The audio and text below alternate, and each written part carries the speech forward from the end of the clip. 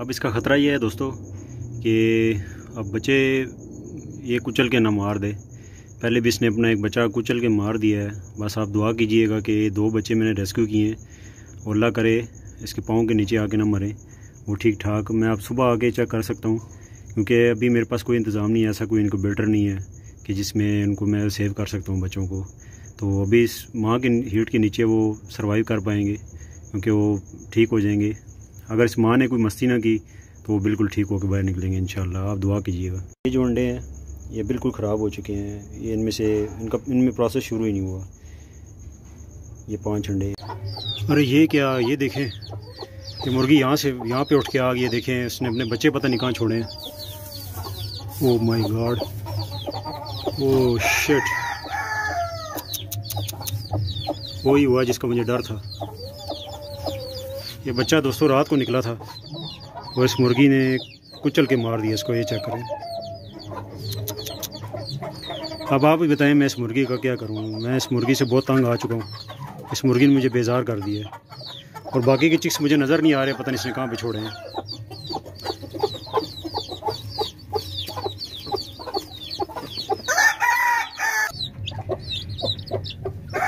ये चेक करें, इस मुर्गी की हरकत इस मुर्गी पे मुझे इतना गुस्सा आ रहा है, मैं क्या बताऊँ आपको।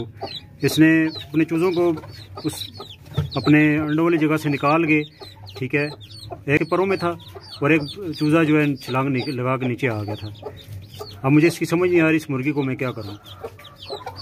अगर खुदा ना खास्ता यहाँ से बिल्ली ले जाती है कोई इस तरह सिस्टम हो जाता तो कौन जिम्मेदार था? इसको तो मैं कुछ कह भी नहीं सकता, ये अब ये ये जो एक चूज़ा मर गया है देखें। ये इसने कुचल के मार दिया है। मुझे बहुत अफसोस हो रहा है, ये वो चूज़ा था जो किंग चीने का बच्चा था। अब ये इस दुनिया में नहीं रहा, बस। दोस्तों, बहुत ही दिल दुख रहा है।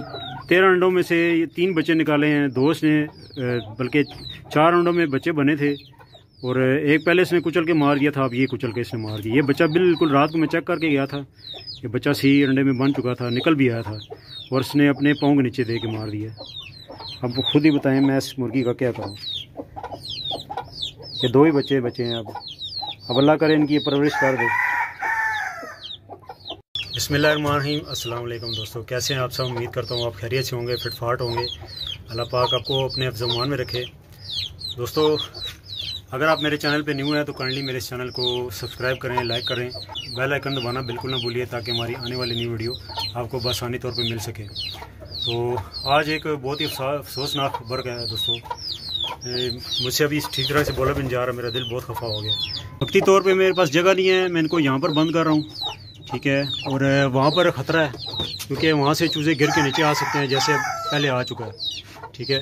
अब ये मुर्गी इधर ही है। अब जो दूसरी मुर्गी मैंने वहाँ पर कड़ुक बिठानी है, हो सकता है कि मैं उसको उठा के नीचे वाले इस पोर्शन में बंद करूँ, ताकि वो इस जगह पे अपने एग्स इनक्यूब्यूट करे।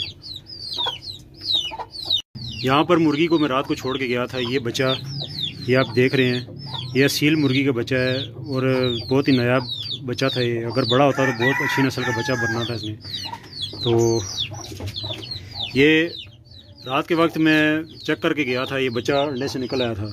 दो देसी निकल आए थे और ये एक सील इसने निकाला है, एक अंडा इसने सील ख़राब कर दिया और ये देखें इसने, ये देखें क्या अशर किया है। एक बच्चा भी इसने मार दिया, एक बच्चा इसने पहले मार दिया था, एक बच्चा भी मार दिया इसने।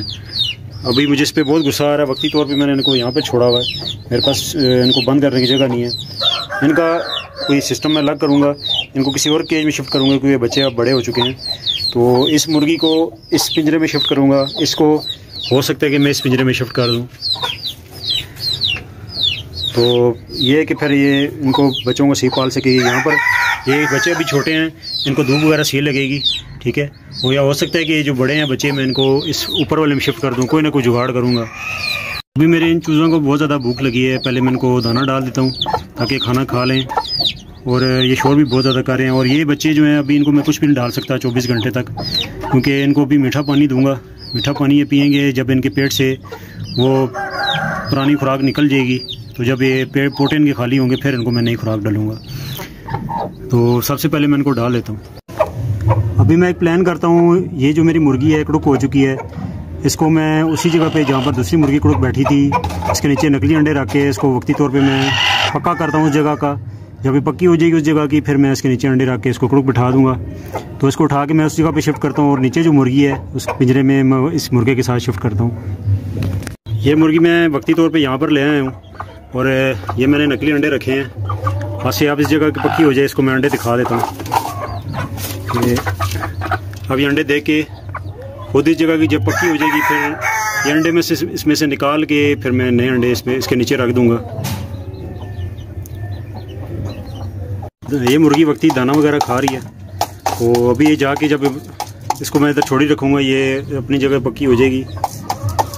आपको जाली में से सही नज़र नहीं आ रहा होगा, ये देखें। इसमें मैंने अंडे रखे हुए पक्की हो जाएगी और ये मुर्गी है।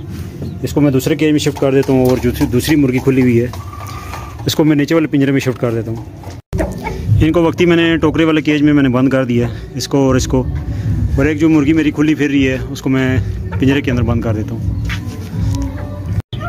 इसको मैं इधर ही छोड़ूँगा क्योंकि शाम के वक्त इनको मैं नीम गर्म पानी में चीनी मिक्स करके या कोई सर मीठी चीज़ मिक्स करके इनको मैं पानी पहले पिलाऊँगा। अभी मैं मुर्गी को भी दाना इस वजह से नहीं डाल सकता क्योंकि ये खाएगी तो बच्चे भी जहर सी बात खाएँगे। ठीक है, मुझे मुर्गी को थोड़ा टाइम भूखा रखना पड़ेगा। ठीक है, मुर्गी को या मैं लग करके दाना डाल दूँगा। बच्चों बच्चों को भी नहीं डाल सकता क्योंकि ये अभी खाने के काबिल नहीं है। खाएँगे भी तो मतलब कि पहले इनका ऑलरेडी इनका पेड़ पोटा फुल हुआ होगा, ठीक है? जो अंडे में से खुराक खा के आते हैं। ये थी दोस्तों मेरी आज की वीडियो। अगर आप मेरे चैनल पे न्यू हैं काइंडली आपसे दरख्वास्त है कि मेरे इस चैनल को सब्सक्राइब कर दीजिए और बेल आइकन दबाना बिल्कुल ना भूलिए ताकि हमारी आने वाली वीडियो आपको बसानी तौर पर मिल सके। ठीक है ले चाहूँगा इजाज़त दोस्तों अल्लाह दोस्तों, अल्लाह हाफ़